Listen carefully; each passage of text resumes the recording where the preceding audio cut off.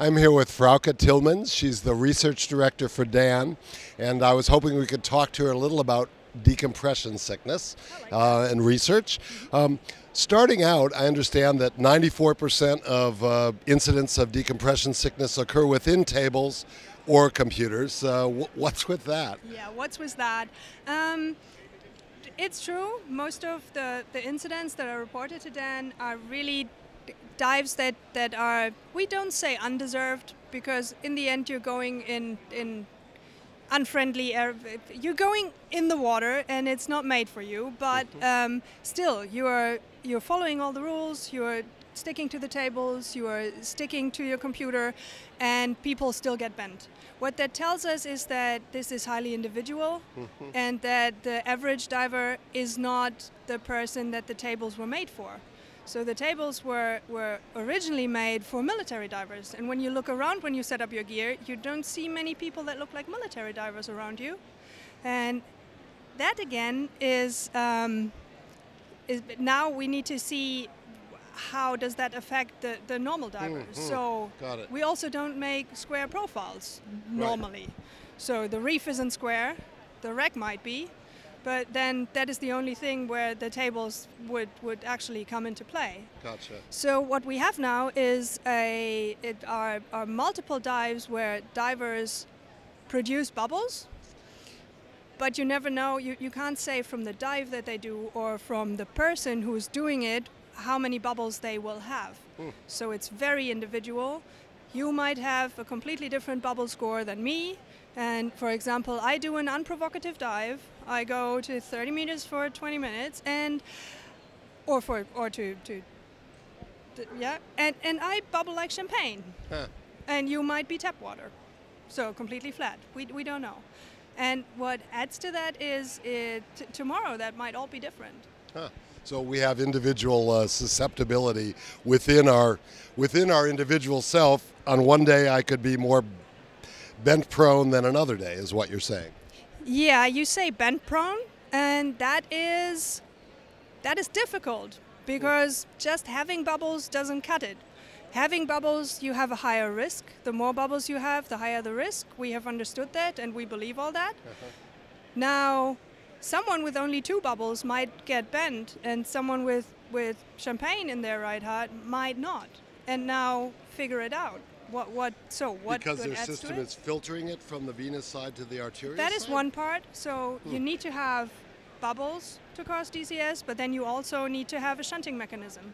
Hmm. So shunting from the right to the left side, so from the left side to go into the arterial system, is going to be you either need to have a PFO Right. or you have right. to have a lung shunt that opens easily.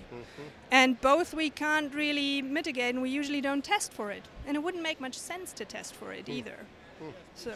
I've been reading a lot uh, recently on just uh, individual susceptibility. That uh, uh, where's the research on that? Like tying those algorithms to me as an individual or you as an individual. Are we have we made advancements there? Is there research? Well, on, on the algorithms itself, not really. There are um, there are companies and institutions out there that try to tie uh, the gradient factors or the algorithms to an actual Doppler count or Doppler grading, but um, we are not there yet.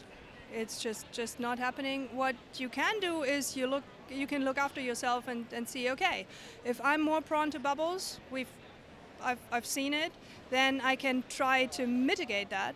And a lot of, of research has focused on preconditioning. Preconditioning means that you do something before the dive that will impact your bubble load after the dive. So, for example, hydrate well.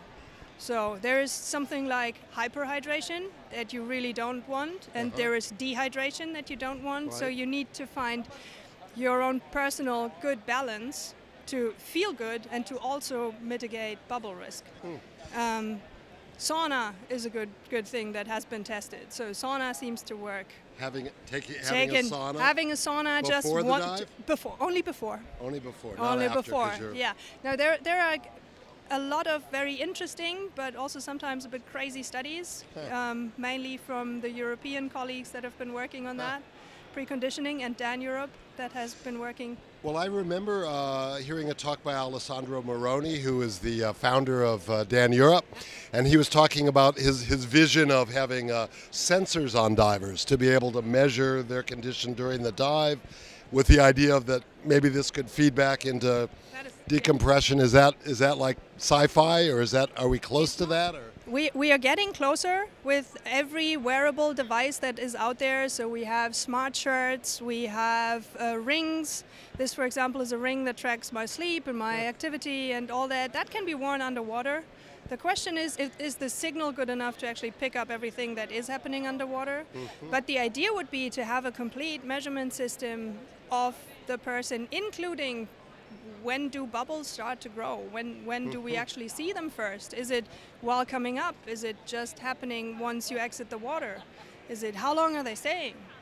So this is all things that, that if we could automate that, that those measurements, that would be fantastic. I have, yeah, I have a, a few friends, actually some GUE friends who go, oh, I avoid that kind of diving because, uh, right, I'm, I'm, I'm prone to this. So hopefully some of this research will, um, uh, will help us determine that going forward. Well, I hope so too. That's what I'm here for.